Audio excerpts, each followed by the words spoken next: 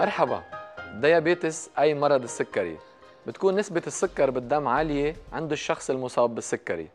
هو عادة أخطر على الشباب تحت عمر الأربعين اللي بيحتاجوا إلى دواء خاص اللي هو أنسولين للسيطرة عليه. ولكن السكري أكثر شيوعا عند الأشخاص فوق الأربعين سنة واللي بيكتروا من أكل الدهون. علامات السكري المبكرة هن العطش المتواصل تبويل المتكرر وبكثرة تعب الجوع المستمر وفقدان الوزن. علامات السكري المتقدمة والأكثر خطورة هن الحكة تنميل بالإيدين والإجرين عدم وضوح بالرؤية كروح بالقدمين ما بتشفى تكرار الالتهابات المهبلية والغيبوبة بالحالات القوية.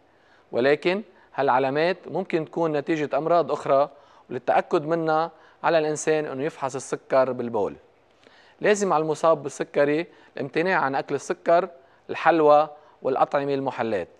والمهم أنه يكتر من الأطعمة الغنية بالنخالي مثل الخبز الأسمر الحبوب الكاملة وياكل نشويات اللي موجودة بالفاصوليا الرز والبطاطا والأطعمة الغنية بالبروتين. الوقاية من الالتهابات والإصابات بالجلد هن المحافظة على بشرة نظيفة تنظيف الأسنان بعد الأكل تتبقى سليمة وارتداء حذاء دايما لمنع جروح القدم صحتكم مهمة بس الأهم تحافظوا عليها. تروني بكرة مع تب جديد. تشاو.